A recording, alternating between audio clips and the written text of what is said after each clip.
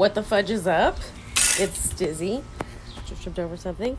And today I am going to give you a quick tutorial on how to do my feed in rainbow braids.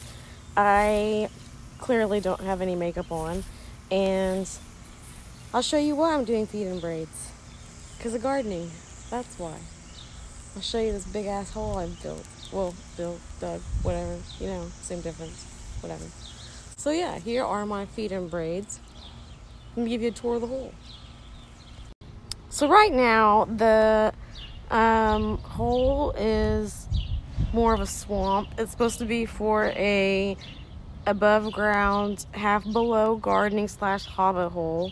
Haven't quite decided. I just started digging holes. I wasn't sure what to do with it. Building character, you know. Gotta keep those kids in check. Yeah, I got a pretty big hole here, and in order to keep my hair nice and neat and out of the way, and so it doesn't get muddy or I have to frequently wash it um, from sweat, this is how I keep my hair nice and neat. So, real quick before I head inside to unbraid this and rebraid it to show you what it's like, um, I will show you what the back looks like.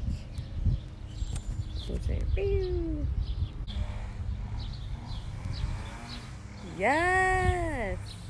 Oh, girl. All right, all right, all right. Let's get this popping. All right, so what I'm doing is I'm taking my plastic Krylon hair slash whatever it's called, um, your plastic hair, your plastic braiding hair, and you're going to separate it into thin sections check out my pimples, waving hello. Obviously, do not put on makeup for this because I'm about to go outside. Here I am just taking them into smaller sections and dividing them up.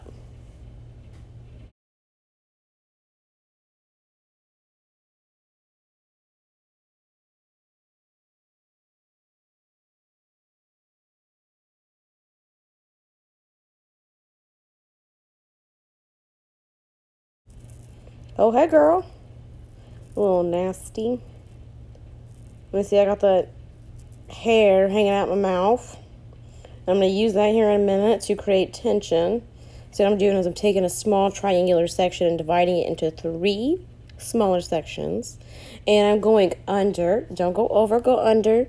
Because if you go over, that's a French braid, not a Dutch braid. What we're doing is feeding Dutch braids. You feel me? Anyway, so here I come. Let's do this. Take the hair, pull some tension, pull it tight, girl. Just get some spit on, spit on a little bit. Get the stick. There we go. With in, in reality, though, I'll be using um, not spit. I'll be using edge control or some kind of gel-like substance. I'm at my house in quarantine, so right now, use what you got. For this. Thank you, Amazon, for also delivering on a decent amount of time. Here we go again, adding some hair from the bottom part and we are continuing to go under. Make sure you continue to pull through because it will tangle. The plastic hair is extremely textured, so it will tangle hella bunches. I'm picking up some more hair. Picking up what I'm dropping. You feel me? Don't mind my little dusties in my hair. I haven't washed my hair in like two weeks. Trust and believe. Trying to maintain that color.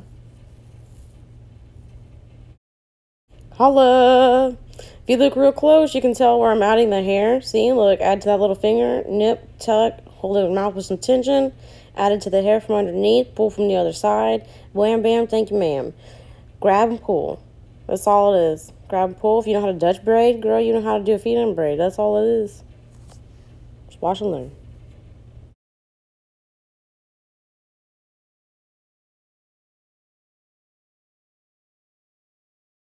Just go all the way down and continue braiding. Easy peasy. People really be overcomplicating it, but really, it's super easy.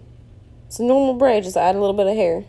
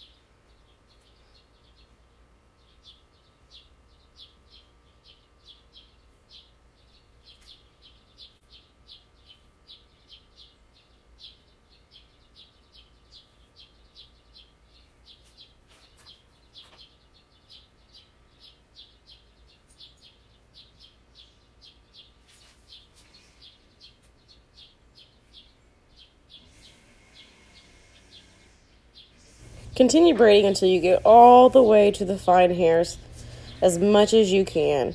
This will hold your braid in place without having to have any rubber bands or hair ties. Generally, if you're using plastic hair, you're supposed to take super high heat to the very bottom so you can either melt them or you can dip it into some like boiling hot water to seal the ends. But since I reuse these ends or reuse this hair to braid my hair over and over with, um, I just tie it in a knot that I can take out in the bottom. See? Or if it gets too tight, I just cut it off. And there we have it.